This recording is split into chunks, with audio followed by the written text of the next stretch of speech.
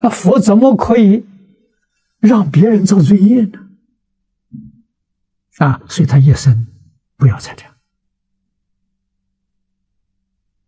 一无所有啊！啊，住在哪里啊？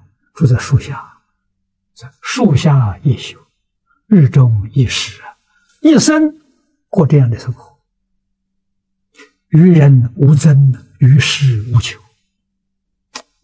多自在呀！啊，他给我们做的示范，最圆满的典型，最好的榜样。啊，我们要这样才能真正学到释迦牟尼佛东西。下面说要解云：若智持名号，未断见思，随其或善或定。与同居土分三倍九品，这是欧耶大师讲的啊。我们念佛啊，支持名号，念佛，见思烦恼没断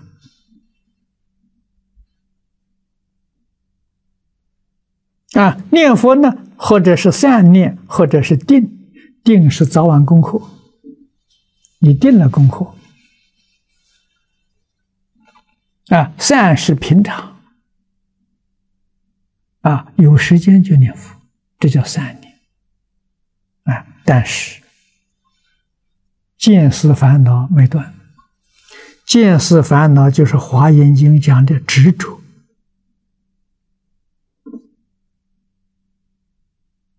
啊，我们在生活当中对人、对事、对物还是执着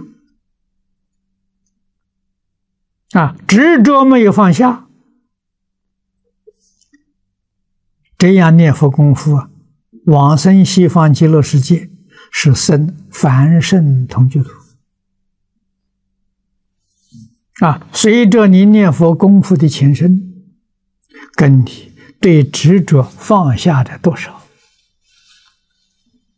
分三杯酒品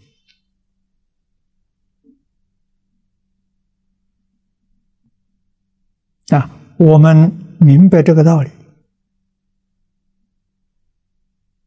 认真去做，提升自己，这是带得走的。诸位要晓得，这个世间呢，名闻利养带不走。啊！你再多的财富，你走的时候一文都带不去。啊，再高的地位也带不去。啊，再亲的亲人也带不去。古人所谓啊，万般带不去啊，唯有业随身。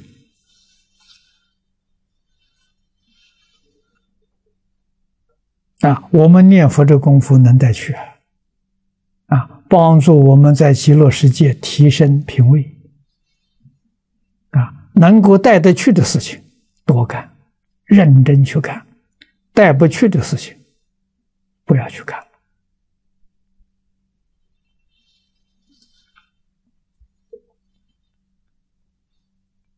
啊，我这几天在印度尼西亚访问，啊，参加他们一个这个这个。也是世界这个和平宗教的论坛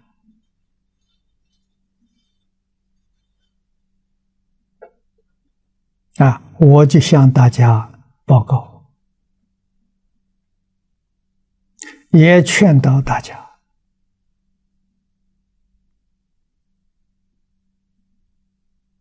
一定要真干。啊！释迦牟尼佛给我们做出最好的榜样啊！因为我在印尼还遇到一些佛门的弟子、出家人啊。释迦牟尼佛一生讲经教学这个要知道啊。佛在世天天讲经教学，没有课本的，这个大家都知道。经典怎么来的？释迦牟尼佛圆寂之后，学生们啊，大家集合起来。从自己记忆里面，把释迦牟尼佛在世所讲的这些教训写出来，留下来了，这叫经典呐！啊，他老人家一生教的什么东西，现在经典记载就是的。所以经典不是叫你念的。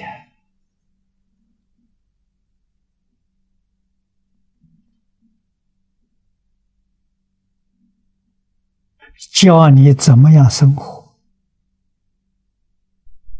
怎么样做人，怎样去做事，教你这些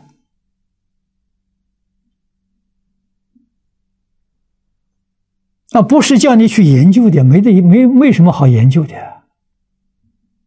想想世尊当年在世。啊，他是王子出身，他不出家做国王啊，啊，舍弃了王位，啊，从事于职业教师，世尊在世的身份，职业教师，教了一辈子。三十岁开悟，开始教学。七十九岁圆寂的，教了四十九年。啊，当时没有记录，啊，佛没有讲义，也没有笔记，啊，同学也没笔记，啊，集结经藏。啊，是阿难尊者，阿难是释迦牟尼佛的使者，啊，每天跟在身边的，啊，所以佛讲的一切经，他都听到。这个人记忆力非常好，他听过一遍呢，几乎就不会忘记。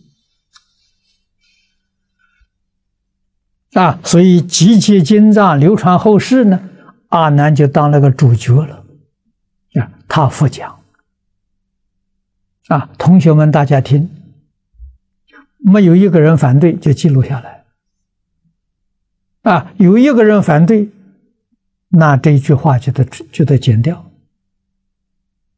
啊，取信于后代。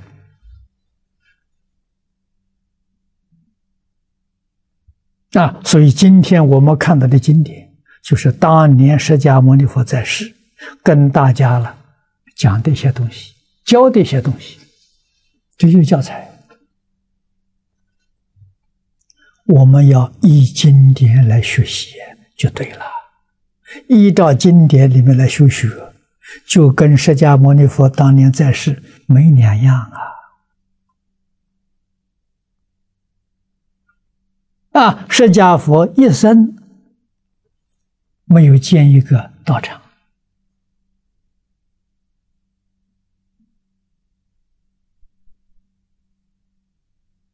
啊，他老人家走的时候是在树林里面，不是在房子。为什么？他要建道场不困难了啊，自己的宿家。是帝王，建个道场不是很容易的事情吗？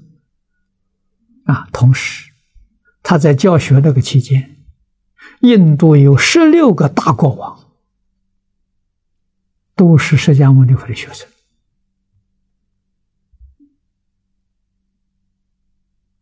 啊，释迦牟尼佛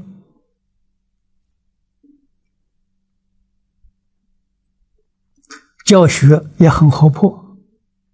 他没有固执啊，所以有一些国王大臣，他们有别墅，有花园啊，请这个佛带着他们的弟子啊，这些人愿意供养，佛也接受啊。你像这部经在《七书戒孤独云》讲的。啊，这就是七托太子跟徐大都长者，那是个大富长者啊。他们提供的场地，佛接受啊，接受像现在人所说的，佛接受使用权，不接受所有权。你说我东西要是送给佛，佛不要。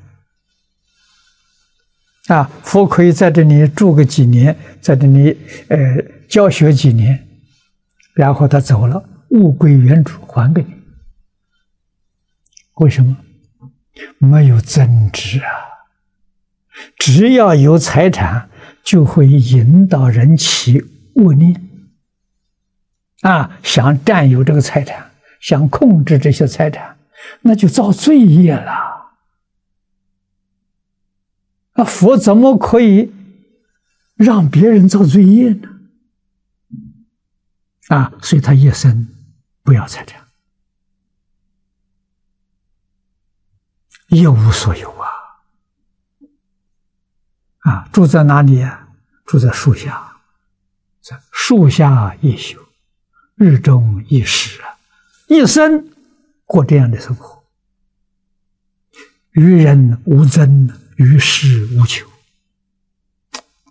多自在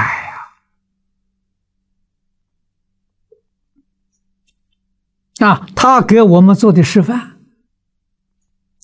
最圆满的典型，最好的榜样啊！我们要这样才能真正学到释迦牟尼佛东西。啊，如果有了财产的话的时候，学不到了，学歪了，学偏了，肯定造业。啊，所以佛教传到中国，中国这些道场谁建的？最早帝王建的，财产属于国家的，啊，不属于哪个私人。啊！以后有大富长者护持佛法，啊，建的这些寺院庵堂，叫十方道场，不是归哪个人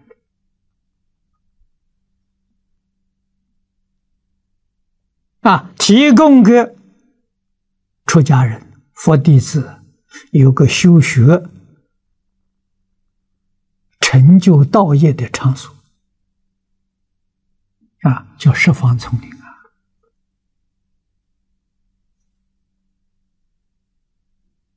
出家人没有私财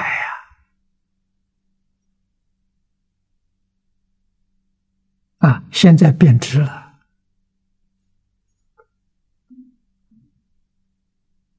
现在出家是出自己的家，入了一个家。入了比自己家更大的一个家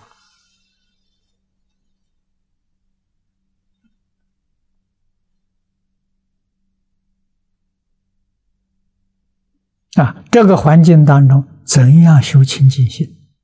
怎样修平等心？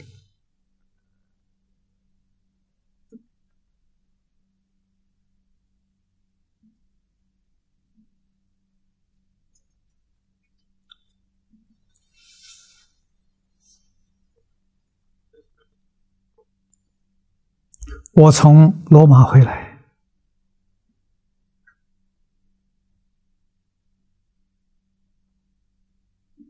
看到一个现象，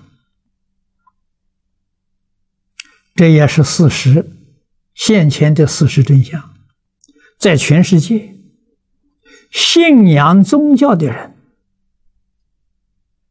年年减少。啊，不信仰宗教的人，这个人数年年在增长。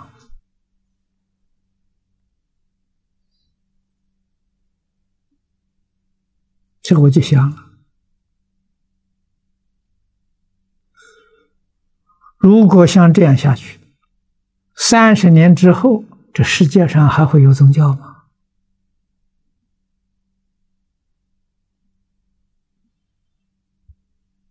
年轻人不相信了，年轻人相信科学，啊，说宗教是迷信，是不是真的？是真的，宗教真的是迷信，啊，不是宗教本身是迷信，是现代。从事宗教工作的人迷信，宗教本身不迷信，他要迷信，怎么能传到现在？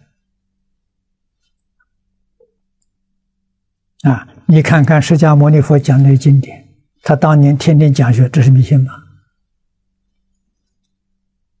迷信的人能讲得出这么好的道理出来吗？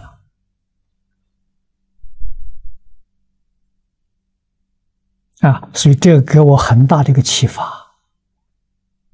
宗教如果不回归到教学，大概三十年以后就没有了。啊弥陀佛，阿弥陀佛，阿弥陀。佛。